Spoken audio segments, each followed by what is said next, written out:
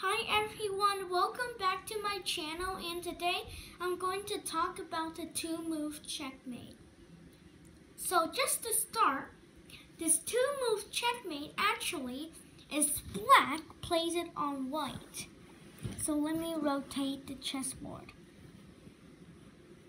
So the two moves checkmate starts with white plays pawn to pawn to f4.